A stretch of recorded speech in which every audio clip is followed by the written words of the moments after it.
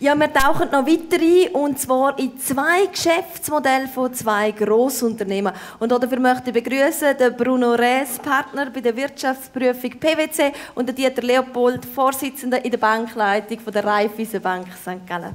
Sie kriegen gerade Ihre Mikrofone her, dürfen sich schnell da, vielleicht auf meiner rechten Seite, genau, da kann ich Sie beide nämlich anschauen. Ja, die Herren, wir haben jetzt ganz verschiedene interessante Muster für Geschäftsmodelle gesehen, sechs an der Zahl. Herr Rees, welches hat Sie besonders beeindruckt? Ja, geschätzte Damen und Herren, gerade aus kurzfristiger Erfahrung Black Sox, weil ich habe vor zwei Wochen, weil mein Hoflieferant ausgestiegen ist oder das Geschäft aufgeht, habe ich Black Sox am Sonntag bestellt und siehe da, am, Montag, am, am Dienstagmorgen sind sie da gewesen. Das ist doch etwas, wo verschiedene Unternehmen auch in der Zukunft wird äh, beschäftigen. Wo, wo gehe ich weiter? Wo kann ich neue Kunden gewinnen? Wenn man heute die neue Generation anschaut, von den Jungen, wenn ich das unseren beiden Jungen anschaue, E-Commerce, Direktverkauf, da wird einen grossen Stellenwert haben in der Zukunft. Ein zweites Modell, das mich auch wieder fasziniert, wir sind noch im Winter, Verschiedene Skigebiete äh, jetzt äh, am Rückgang von der Ersteintritt leiden. Da hat es äh, ein Unternehmen gegeben, Visi Arena, das vor etwa fünf Jahren warme Betten geschaffen hat und damit etwas gemacht hat in der vertikalen Integration. Man kann auch sagen, alles aus einer Hand, wo man warme Betten geschafft hat. Da hat man für Kunden etwas geboten, wo nicht noch äh, wo vielleicht drei Wochen wollen in äh, Skifahren gehen, aber damit auch noch ein Renditeobjekt erworben haben. Der Vorteil ist auch da, der Kunde hat den Nutzen, erstens, dass er drei Wochen kann in die Ferien zweitens, dass er eine Rendite hat und der noch wichtiger Erfolg ist bei der Weiss Arena, damit er viel mehr Ersteintritt hat. Und wenn man heute die, die rückläufigen Zahlen anschaut, wären die noch rückläufiger, wenn das Geschäftsmodell nicht vor fünf Jahren eingeführt worden wäre und damit mehr Kunden haben können akquiriert werden Herr Leopold, sind Sie bei ähnlichen Geschäftsmodellen hängen geblieben? Hat Sie Ähnliches fasziniert oder gerade etwas anderes, was Sie noch herausheben möchten? Äh, ich denke, äh, geschätzte Damen und Herren, guten Abend zuerst einmal miteinander.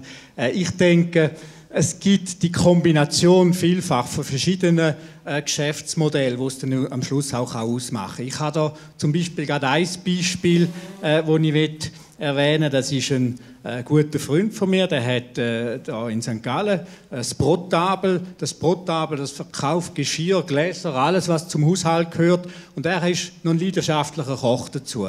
Er hat dann vor ich weiß nicht vor wie vielen Jahren, vor ungefähr sieben, acht Jahren angefangen, eben auch noch Kochschulen gehen. Kochschulen, wo äh, ich mit meinem Kader, mit meiner Mannschaft, mit meiner Firma herkam am Abend kochen.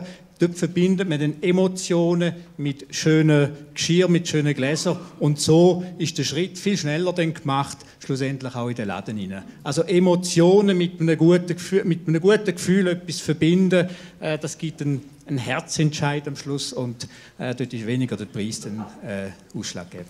Also Emotionen, Love, Mark, wir haben Abo gehört, wir haben alles aus einer Hand gehört. Herr Rees bei der PwC, können Sie es verraten, welches ist Ihr Erfolgsgeschäftsmodell?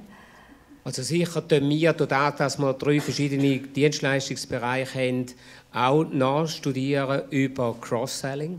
Das ist sicher ein Thema, wenn wir in einem Dienstleistungsbereich die Kundenbeziehungen haben, wo kann man in anderen Dienstleistungsbereichen dem Kunden noch Nutzen schaffen aber auch äh, die Frage, die sich da immer stellt, in dem Bereich alles aus einer Hand, ist natürlich die internationale äh, Tendenz, was die Unabhängigkeit anbelangt.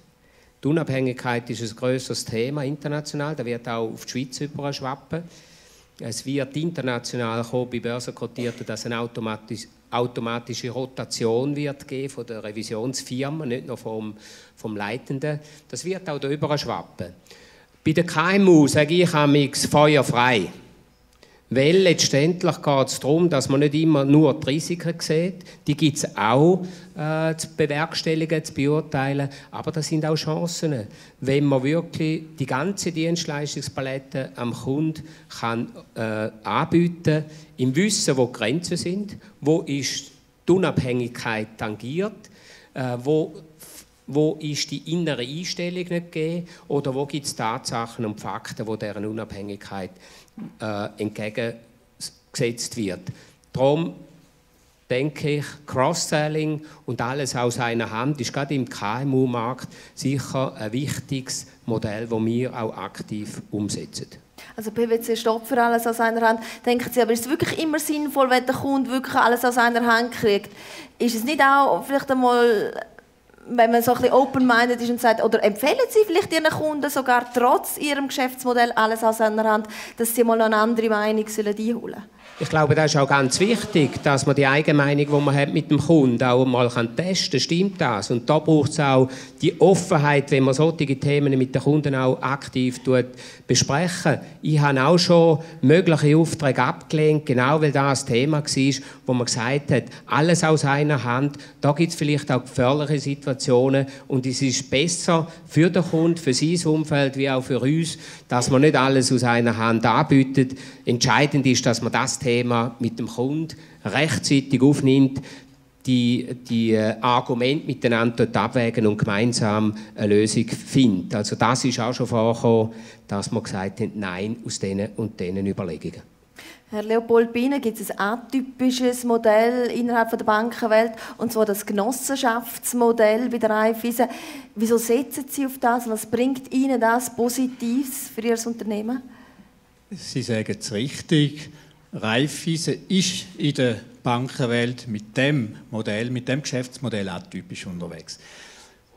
Die, das Genossenschaftsmodell, das ist ja so, dass über die Schweiz verteilt über 300 autonome Genossenschaftsbanken bestehen. Und die Kunden, die Hälfte der Kunden, die Raiffeisen hat, die sind Genossenschafter. Also erstens mal sind die Genossenschaften direkt mitspracheberechtigt an den Generalversammlungen. Äh, sie haben aber auch einen Gegenwert, nämlich für einen relativ kleinen Einsatz kommen sie einen guten, in der heutigen Zeit einen sehr guten äh, Zins vergütet über. über die Genossenschaft, die Generalversammlungen dann schlussendlich, das sind auch Emotionen wieder damit verbunden. Insbesondere natürlich in ländlichen Gemeinden, wo es, es muss, es Mast ist, was dazugehört, dass man an so einer Generalversammlung äh, dann dabei ist. Also genoss die, die Kundennähe durch das dichte Geschäftsstellennetz, die Emotionen über Genossenschaft und dann auch, da muss Ihnen der Verwaltungsrat oder die Bankleitung von der Bank, wo ich ja dann daran beteiligt bin, Rede und Antwort stehen für Erfolg oder auch Misserfolg, wo es keinen. Also auch dort, wir reden auf einer gleichen Augenhöhe. Ich sage dem auch, es gibt eine soziale Nähe in dem, dass man so nah beieinander ist. Und das macht das Reifeisen-Modell schon einzigartig.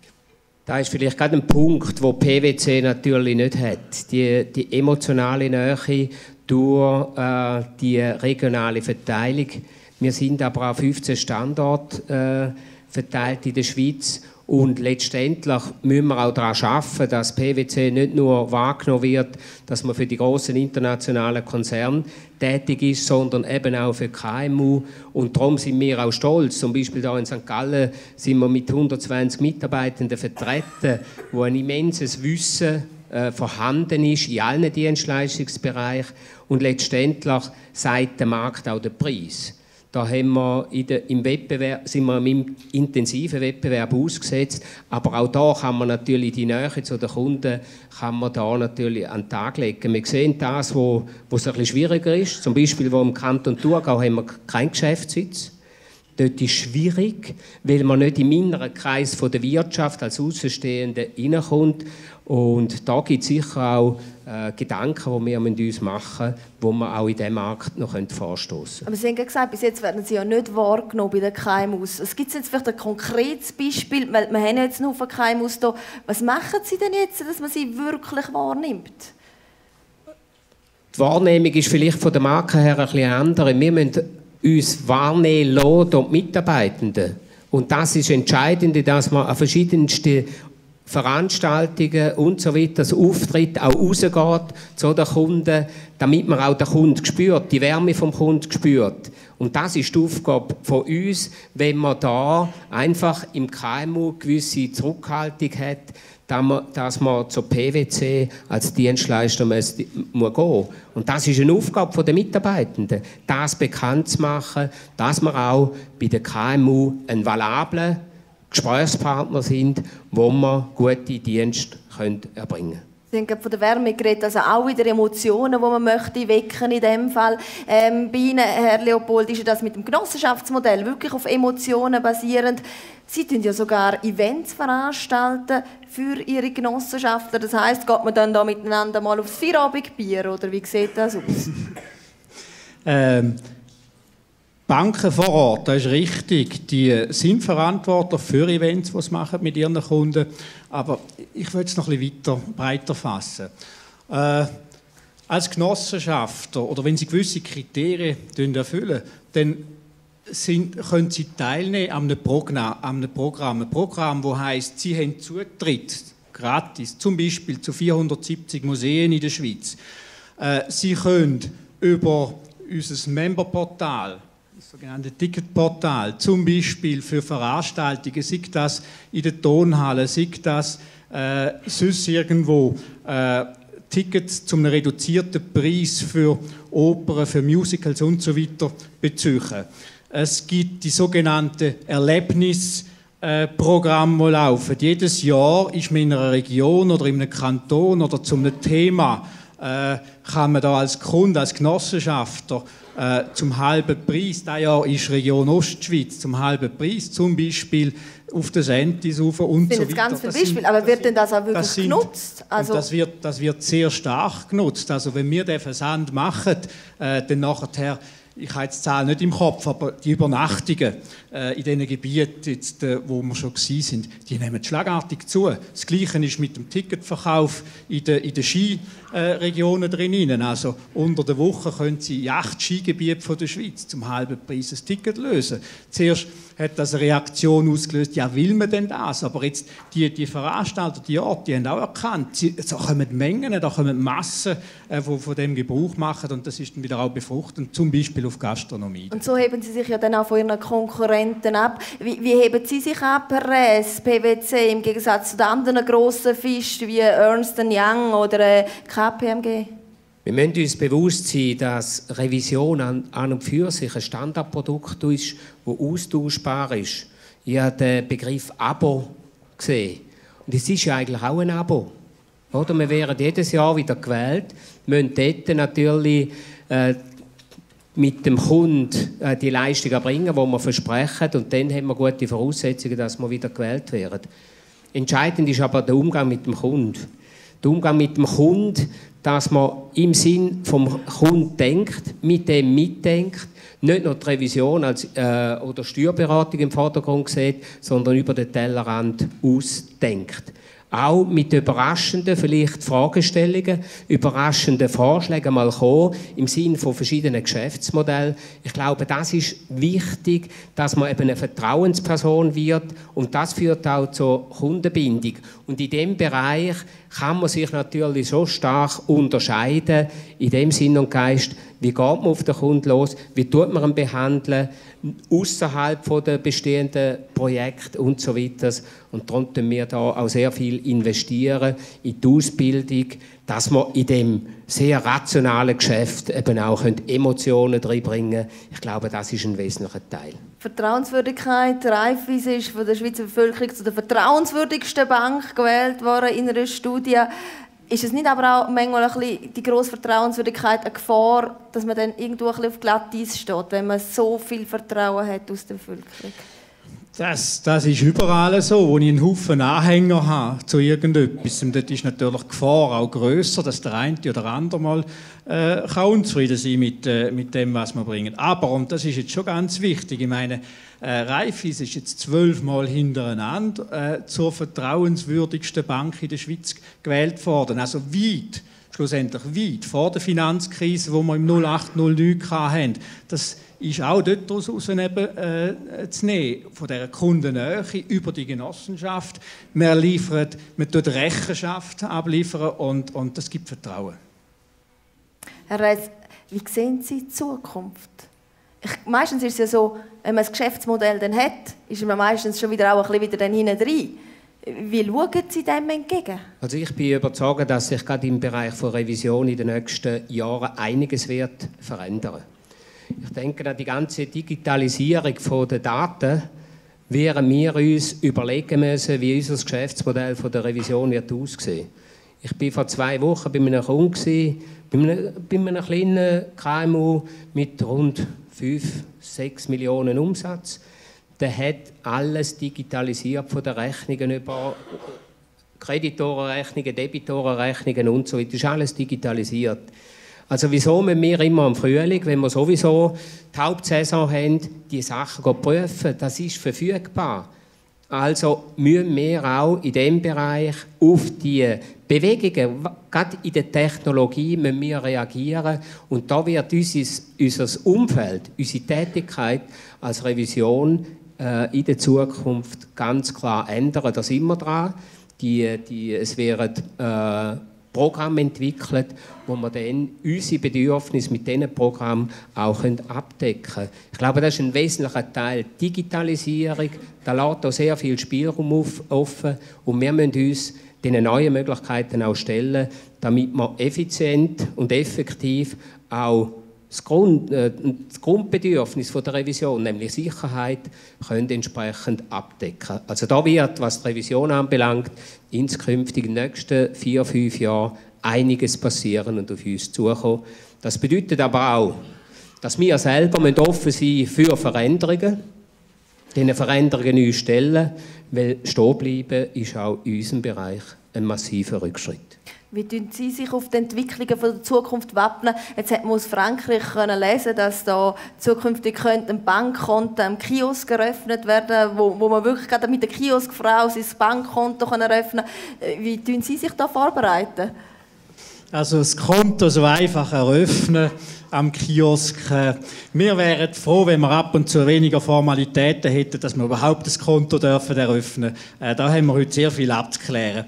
Aber ich denke schon, dass das, was Bruno Ressau angeschnitten hat von seinem Beispiel, das er gebracht hat, dass die Digitalisierung ganz große Veränderungen noch wird mit sich bringen. Es gibt heute schon Banken, die bieten Online-Hypotheken an. Ob die Erfolg werden haben über lange Frist, das ist, den, äh, das ist die andere Frage. Aber ganz sicher muss man sich darauf einstellen, dass es nicht nur einen Vertriebskanal, nämlich den physischen gibt, sondern dass es einen weiteren Vertriebskanal gibt. Und wenn ich von Vertriebskanal rede, dann rede ich nicht einfach von einem E-Banking, wo ich meine Zahlungen tue, äh, ausführen, darüber äh, von A nach B überweisen, äh, sondern wirklich, wo ich kann Produkte beziehen oder anfordern äh, direkt. Und das ist eine ganz große Herausforderung, wo auch wir bei Raiffeisen dran sind, wo wir daran arbeiten tun. Äh, und äh, ich bin überzeugt, das wird unsere, unsere, unsere Vertriebsart, wie wir daran her müssen, doch noch stark verändern. Herzlichen Dank, Herr Rees, herzlichen Dank, Herr Leopold. Ja, weiter zu Ihnen, Herr Weibel. Jetzt kommen wir zum Holz und zum Strauß. Machen wir so.